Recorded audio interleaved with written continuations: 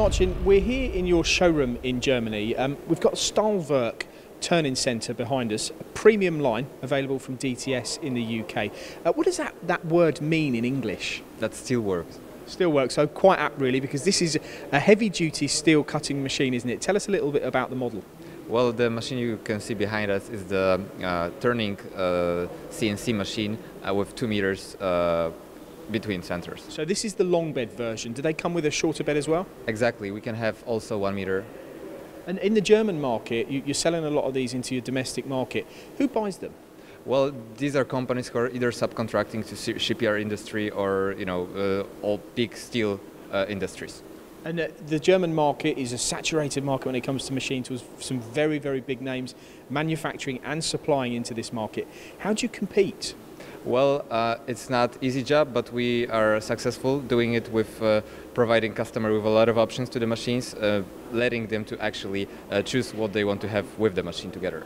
I look at this and think of the home market for the oil and gas sector, um, heavy engineering. How powerful is the machine? That's 18.5 kilowatts. 18.5 kilowatt. And is it is it driven by gearbox or is it just a, a single uh, single geared machine? That's gearbox driven.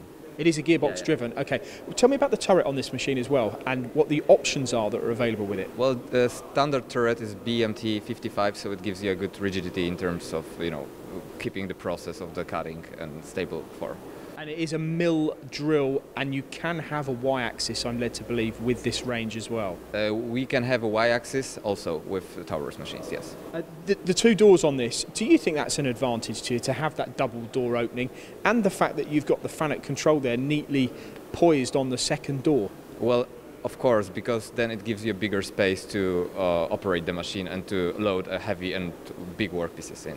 And what about your travelling steady? Tell me about that. Or that this is a fixed steady on this one, but you can have the tra- travelling option as well. Yes, you can have a hydraulic steady rest, uh, hydraulic follow rest uh, whenever is needed for machining a big uh, workpieces. And is this as big as the machine gets? You know, how expandable or how much bigger can these machines come?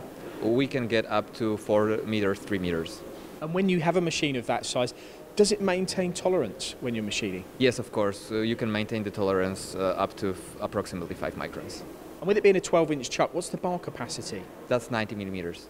That's quite big then, isn't it, for a machine of this size to be able to bury bar of that diameter? Exactly, and uh, it's very useful, uh, especially for customers who are using bar feeders. Okay, let's conclude this now, Martin. I just want to uh, have a quick summary of this machine, where it fits in your portfolio, uh, why DTS's customers in the UK should consider this as a product to purchase.